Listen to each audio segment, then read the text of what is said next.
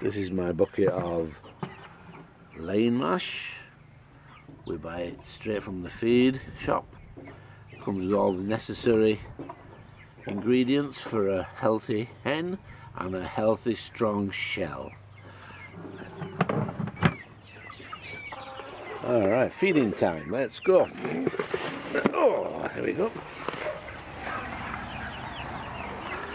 Come on ladies, let's go ladies. Come on. Come on. Come on, girls. Let's go, ladies. Come on, come on.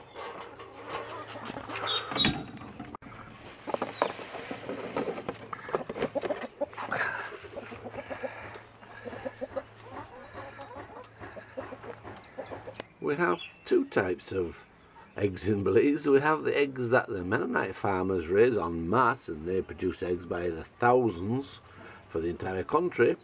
But people also raise their own eggs in their own yard and this is what we refer to as local eggs because these chickens get to eat more natural things than, than, than farm raised chickens do. So free range, local, that's what it means. They get to eat other things. I'll show you some in a little while. There we go. We've got some young ones running around, three of them, looking for their mother. So what else do I feed my chickens?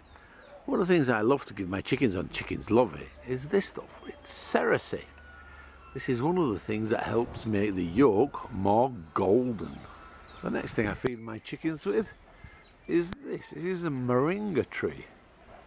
Oh, there's so much on the internet about moringa. I'm not going to go into that now. But they love this stuff though, and it also feeds the iguanas. The damn annoying little things. Stops them eating my plants. So all I have to do is reach up and snap off a branch. One of the big differences you'll notice when you raise chickens where the chickens are, no grass.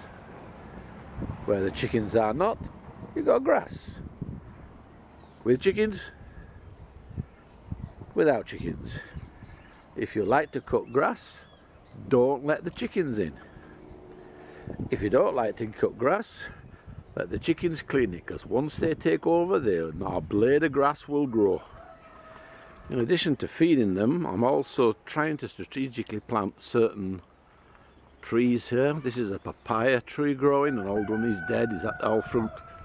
Uh, we have a pear tree, and this is a soursop tree. I have some star fruit at the back. These are here, so if any fruit drops to the ground, and we don't get a chance to get them, the chickens will clean it up for us. So free food for the chickens. Right, after collecting some garden rubbish, doing a bit of weeding, we've collected some um, yeah, unwanted, so some spinach is in there, some oregano, moringa, cerasee, general weeds. Bring it, give it, and the chickens love this stuff. They do, they like it, they like to eat greens. Feeding time. Big ones are in the greens. The little ones are doing whatever mother tells them to do. And Miss Iguana, she is waiting for her turn.